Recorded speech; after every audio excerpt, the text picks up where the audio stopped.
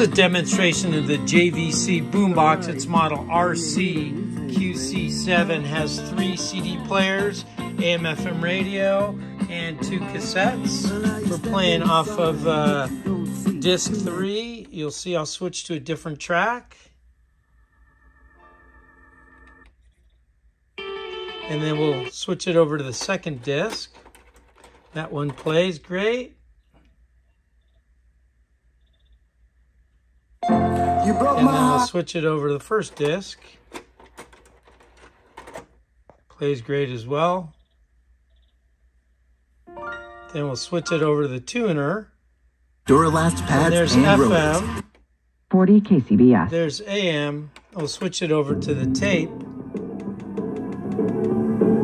And then we'll stop and we'll switch it to the other tape.